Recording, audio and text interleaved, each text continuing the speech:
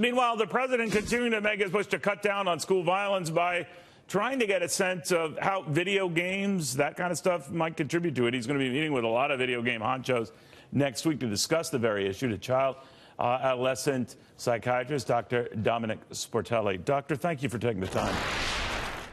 Thanks for having me, Neil. Um, what percentage of, of kids, teens, whatever, do you think violent video games might make an impression beyond entertainment, that they become transfixing?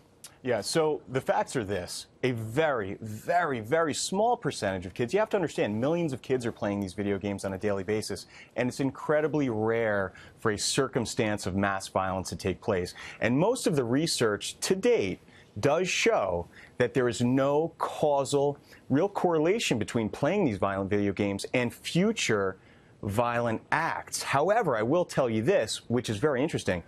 People or children that are exposed to violence in the media, on television, in the movies, on social media, etc., are more likely to engage in violent acts. So we don't really see it with the video games per se, but we do see it with the movies. Would you, as someone who you know works with kids and all, uh, uh, the president seemed to be intimating at a rating system for games. There already is a rating system, but I guess what he was referring to is maybe tightening it or uh, for excessive violence, uh, which again they're rated for as well, um, that, that we really police this better because even if it's a tiny percentage uh, among millions of kids, that's all you need.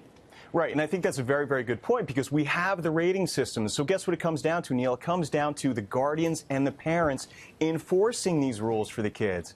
Because the truth is, a lot of these kids are playing these games that are rated for mature you're audiences. Right. No, they're seeing, right. you know, they're seeing R-rated movies. Who's enforcing it?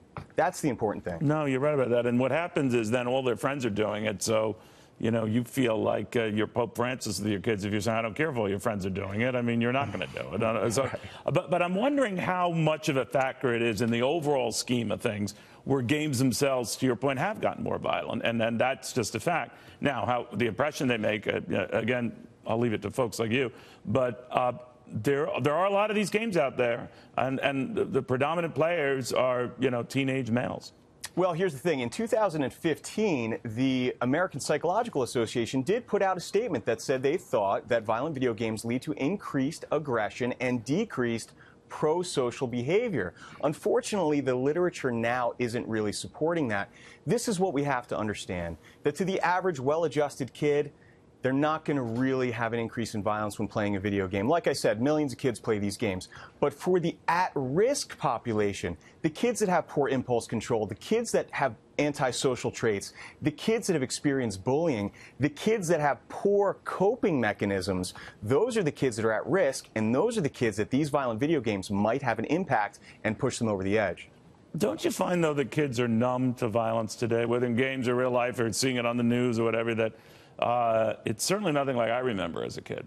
Yeah, listen, in the 1950s, 10% of households had televisions. Now, 99% of households have televisions and media. Most kids have televisions in their rooms. So there's no question that kids are being desensitized to violence. Right. Absolutely.